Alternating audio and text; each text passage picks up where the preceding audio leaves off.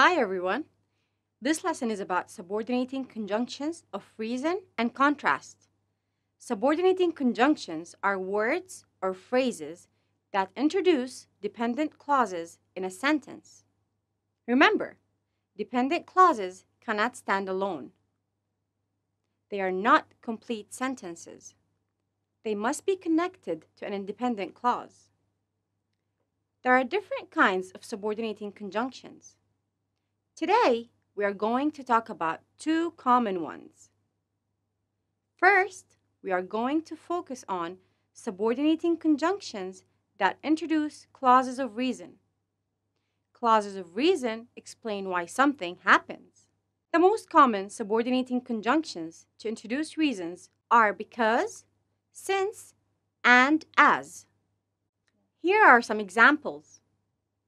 We remember pop songs because the lyrics are catchy. The clause that starts with because explains why we remember pop songs. I can't compose music since I don't play any instruments. The clause that starts with since explains why I can't compose music. We are having recorded music for our party as the cost of a live band is high. The clause that starts with as explains why we're having recorded music for our party. Now let's look at another type of subordinating conjunction. Subordinating conjunctions also introduce clauses of contrast. Clauses of contrast introduce conditions or events that are different than expected. The most common subordinating conjunctions to introduce contrast are although, even though, and though. Here are some examples. I love pop music, although I appreciate jazz.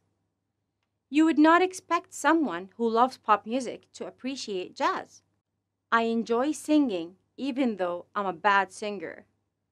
You would not expect someone to enjoy something they are bad at. She likes Arabic pop music, though she doesn't understand Arabic. You would not expect someone who doesn't understand Arabic to like Arabic music. Let's see if you understood this correctly. Can you complete the exercise?